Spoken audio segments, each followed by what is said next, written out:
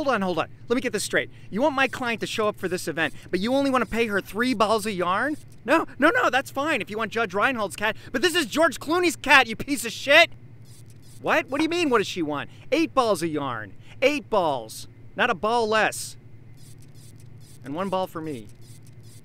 Meow, cat agent. No, no, no, no. You listen to me. Are you listening? If you don't sign this contract like you said you would, I will end your life. And then I'll end your family's life, and all of your friends, and I'll eat your favorite food and vomit it over your grave. And then I'm gonna take your favorite movie, and I'm gonna replace all the dialogue with fart sounds. And then. What? Huh? Y'all, you'll sign?